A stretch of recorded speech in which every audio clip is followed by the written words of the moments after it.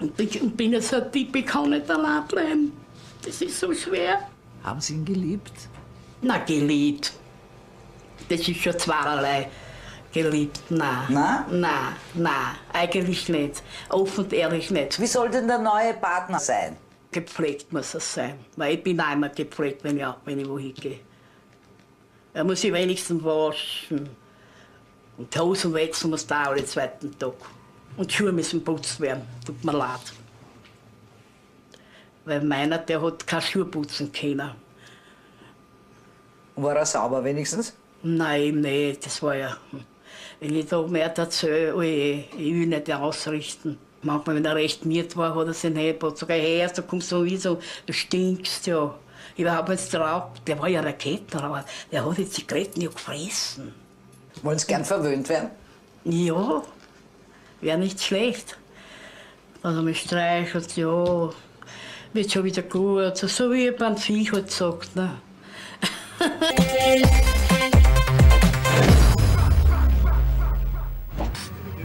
muss ich ehrlich sagen, mir geht's anders. Eine witzige Laune, ich schau mal da rein in die Hitten. Was da abgeht mit den Mädels. Dann ist sicher lustig. Hauptsache, sie hat Dutteln und sie hat unten. Ihren teuren Wodka, mehr ist aber bislang nicht zu wollen. Bald sitzt bei uns. Wir haben jetzt eingeladen auf Rankel und so. Die reden dabei noch nicht viel, aber ich glaube, nach dem ersten Rankel oder so wäre es ein bisschen abgefüllt. Dann geht da schon was. Wir schauen, dass wir die ein bisschen herreizen können und dann schauen wir weiter. So, wird einfach schön und dann schauen wir, vielleicht geht da noch einmal was. Nein? Wirklich nicht? Das kann nicht sein, oder? So schön bin ich gar nicht, oder? Nein, eh nicht. Aber Ich hab da momentan wen und wenn der das sieht, ist er böse. scheiße Ding. Schau mich an. Der Benny gefällt mir am besten und er hat gefragt, ob ich einen Freund habe.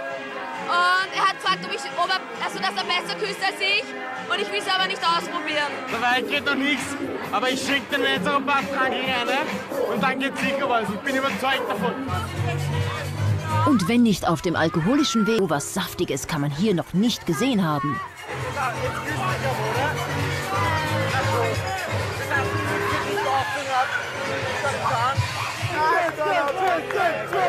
Ich zugeknöpft gibt.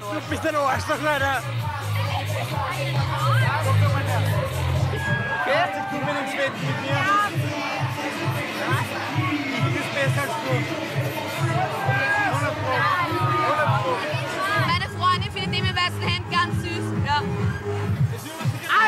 Benji wollte Karina nicht küssen. Ihre Freundin Kathi küsst sie hingegen leidenschaftlich.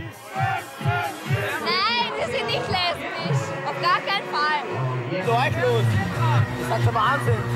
Das hört mich schon an, wenn die sich da ausgreifen und sputzen. Ich meine, da wird man schon spitz, aber genau meinen dabei noch nichts, weil sie zu nüchtern sind. Ich bin bombvoll, mir ist wurscht.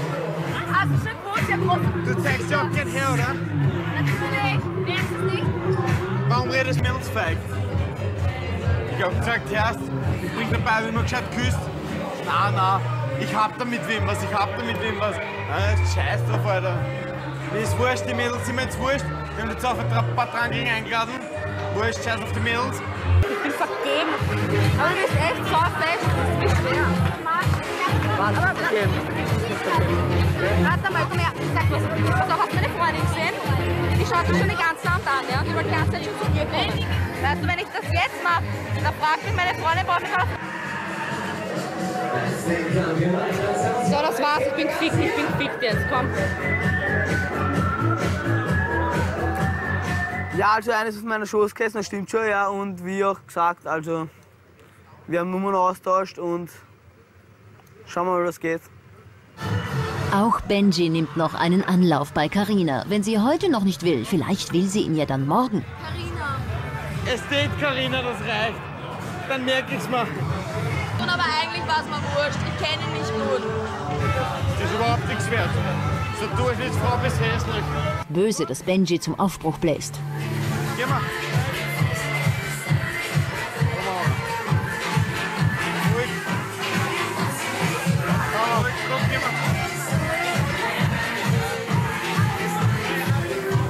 Passt, also das passt eigentlich und die Mädels waren auch recht gut.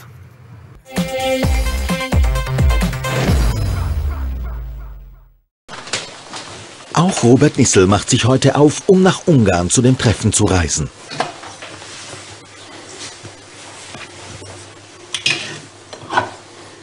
M7.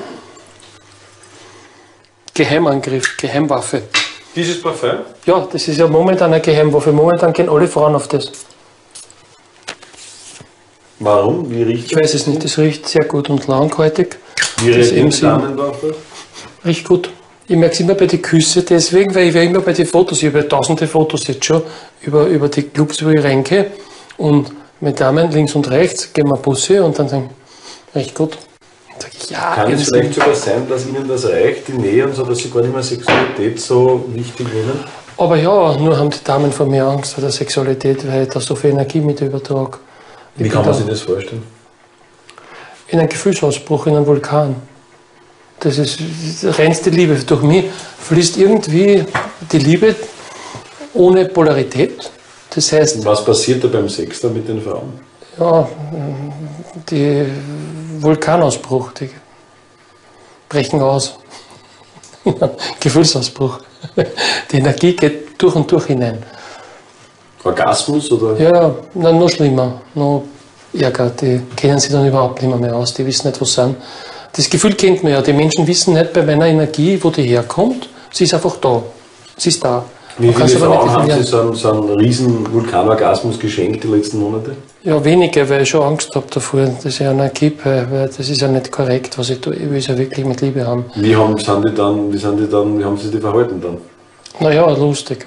Lustig, sehr lustig, sehr lustig. Die kennen sich nicht aus. Die wissen nicht, worum es geht. Schreien oder weinen oder lachen oder? Naja, sie werden besonders, äh, naja, besonders äh, nass werden und, und das merkt man dann. Ne? Die kennen sich einfach nicht mehr aus.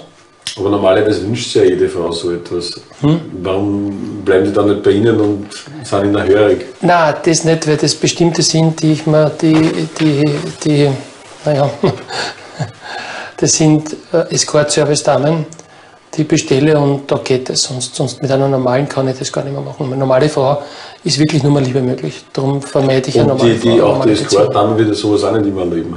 Nein, die erleben, das sind sehr angenehm überrascht dann. Aber ich sage es ihnen vorher, dass ich da ein bisschen Energie mit dazu gebe, übertrage, aber unabsichtlich, nicht einmal bewusst.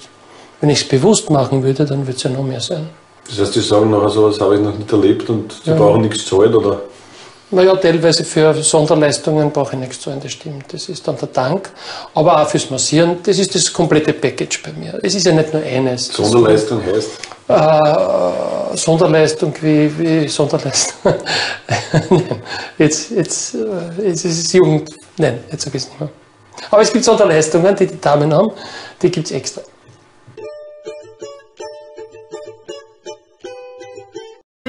Ja, und auch Stefan Meyerhofer ist schon bei uns. Herzlichen Glückwunsch. Ein Triple-Erfolg für Sie. Meister, Cupsieger und Torschützenkönig. Die schönste. Und Topscorer. Und, ja, Torschützenkönig. Ja, Topscorer auch noch. Was ist Topscorer? Ja, die meisten äh, Tore und Vorlagen. Ach so, und die Assists. Okay, Entschuldigung, das hätte ich Ihnen, hätte ich Ihnen schon fast, fast unterschlagen. Sie ganz klare Vorstellungen, oder? Das wird jetzt länger dauern, wenn Sie mir die Ja, erklären. aber- Machen Sie es im Job genauso. Ja, träumen- durchprobieren. Think big. Bisschen durchprobieren, das möchte ich jetzt nicht gehört haben. Also, vom Aussehen her. Also, das Wort. so. Wenn Sie meinen, dass die Lena das super malen wird, dann äh, schauen Sie bitte weg, weil wir den Begriff jetzt einblenden und wieder ausblenden. Lena, sie wirkt gefasst. Ja, schafft sie. Ihr, WSC, eine Minute, 40 Punkte. Ich halte euch ganz fest die Daumen. Müsst aber gehen, oder? Ja, macht's. Gut. Wolken. Vogel. Vogel. Huhn. Vogelkot. Vogelei. Ei. Also jetzt muss ich mir den Begriff noch einmal anschauen. Das verwirrt mich. Storch. Eistraß. Ei. Straßenei. Haben Sie das eh gut gelesen? Ja. Okay, gut. Ich wollte nur fragen, ne? Ei. Hühnchen. Ei. Ein Nest. Vogelnest. Schaf. Äh, Schaf. Ein Schaf. Einhornschaf. Zwei Schaf. Zwei Schafe. Schäf, Schäfe. Ein Sch Schäf. Ein Schläfer. Ein Schaf. Ein. Einschläfern? Ich, ich bin ganz, ich bin so verwirrt, wirklich. Was war das? Äh, wieso? Äh, Schafe. Eiskaffee?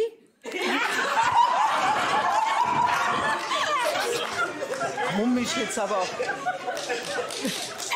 Ein Schaf geschnitten. Oh, ich habe sie eh noch mal gezeigt. Oh Gott. Das, das nehme ich mir jetzt mit, weil das hebe ich mir auf. Das hebe ich mir jetzt auf. Nein, wir wollen überhaupt nicht darüber reden. Ja. Lena, 120 Punkte, Sie konnten sich das leisten. Bitte, wo, wo wollen Sie jetzt weiter tun? Also, Lena. Le weiter geht's. Lena. Ja. ja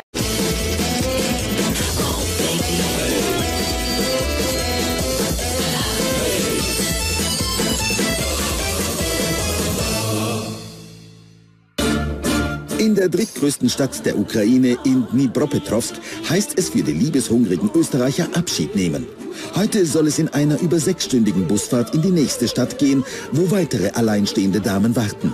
Vor der Abreise hat der 52-jährige Gerhard Klein noch eine halbe Flasche Wodka getrunken, um für ihn laut eigener Angabe die stundenlange Autofahrt erträglicher zu machen.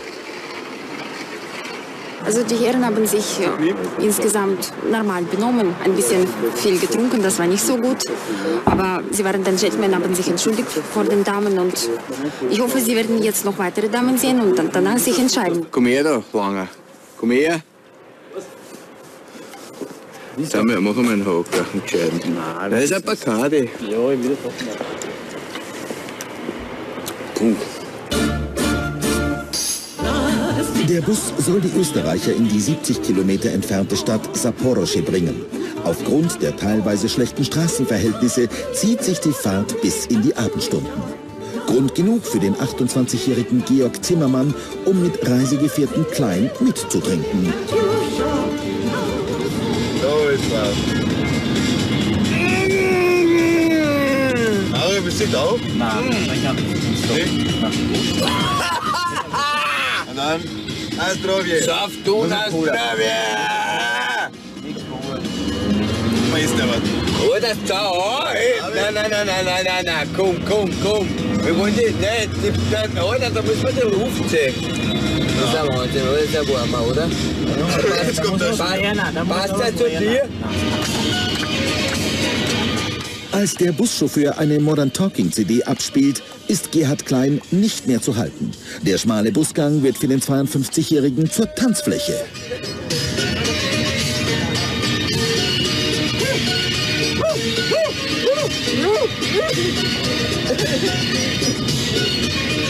Der Gerd ist so ein leibender Kerl, gibt's gar nichts. Sauft mir ein bisschen zu viel. Ja, man kann trinken Alkohol, ich trinke auch Alkohol. Nicht, hey, die meisten trinken Alkohol, aber nicht jeden Tag. Einmal in der Woche oder was und dann sechs, sieben Tage oder zwei Wochen gar keinen und dann wieder einmal nicht. Oder zu viel gesoffen oder schon nicht, muss ich sagen, für mich, weil auch, dann ist er anlassig geworden, dann ist er gehängt bei mir 100.000 Mal nicht in Auto, das ist ihm auch schon ein bisschen gegangen. Nicht? Aber er ist so, vom Dings her, er ist ein intelligenter Mensch, muss ich sagen. Er kennt viel Leid, er hat eine Ahnung, was er sagt und alles. Und er ist, ein- ich glaube, er ist ein gerader Mensch. Er ist wirklich ein gerader Mensch.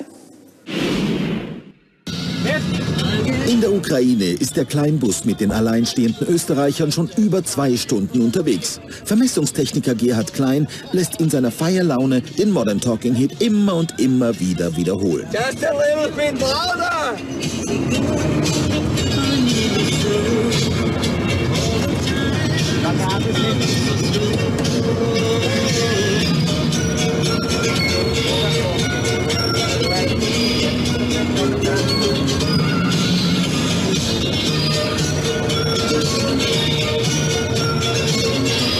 Da Gerhard Klein und Georg Zimmermann austreten müssen, hält der Bus kurz am Straßenrand. Das Vermittler-Ehepaar Maurer ist über den Zustand des 52-jährigen Gerhard Klein schockiert. Äh, ja, ich mag Gerhard als Mensch Und wenn er nicht betrunken ist, er ist ein richtiger Gentleman, aber er darf überhaupt nicht trinken. Weil die Männer, welche sich anzapfen und aufführen äh, wollen, sie brauchen nicht kommen hierher. Weil ukrainische Frauen haben genug Männer, die trinken hier. Und noch dazu, wenn er sauft, genau so wie unsere Einheimische. Das wird niemand wollen.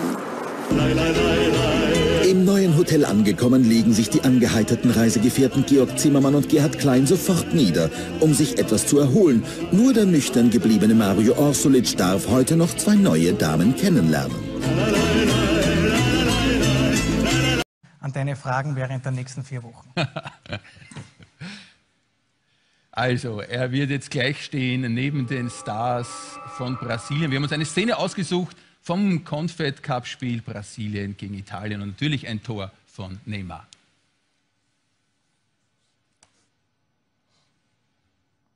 So, jetzt, meine, Zuschauer, meine lieben Zuschauer, eine der ganz großen Stärken Neymars, die wir gerade besprochen haben im Studio, nämlich die Standardsituationen. Hier mit dem rechten Fuß gegen Italien, gegen eine Fünf-Mann-Mauer. Das Ganze ist passiert letztes Jahr beim Confed Cup in einem Spiel, wovon kein schlechter Tormann im Tor rechnet, wie viele andere in dieser Situation aus diesem Winkel natürlich mit einem Schuss über die Mauer. Was macht Neymar, der Schlitzer? Er haut einen neben die Stangen ins Tormanneck.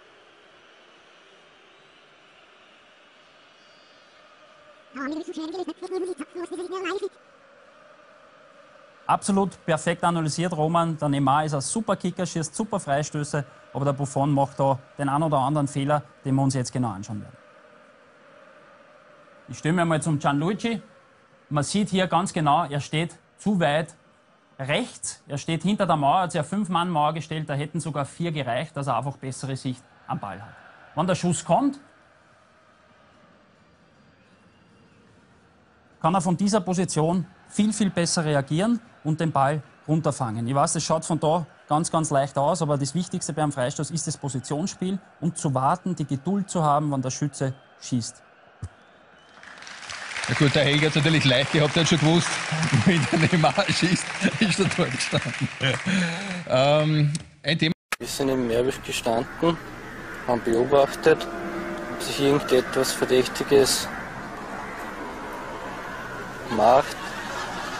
Dann ist eine, ein Mann aus ausländischer Abstammung ist zu uns hergekommen und da hat uns etwas zum Rauchen angeboten.